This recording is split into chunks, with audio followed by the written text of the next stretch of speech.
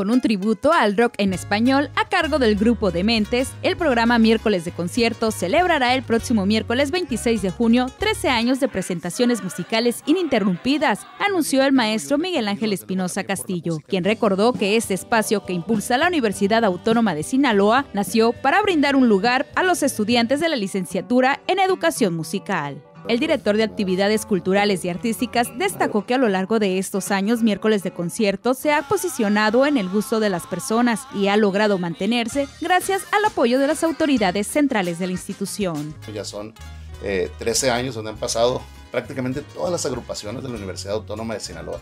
Pero lo bonito también de esto, te mencionaba, es que son agrupaciones que, que no son necesariamente universitarias, sino que son compañeros que estudiaron en la Unidad Académica de Artes, que son docentes. Yo por mencionarte algunos, André Landeros, que es un, un joven músico universitario. Espinosa Castillo reiteró la invitación a asistir y celebrar juntos el 13 aniversario de miércoles de concierto, este miércoles 24 de junio en punto de las 20 horas al interior del emblemático edificio central de la UAS. La entrada es completamente gratuita. Además, se transmitirá en vivo a través de las cuentas oficiales de la Universidad Autónoma de Sinaloa, Cultura Guas y Radio Guas. Nos sentimos muy orgullosos de invitarlos para que festejen con nosotros los que son los 13 años de miércoles de concierto.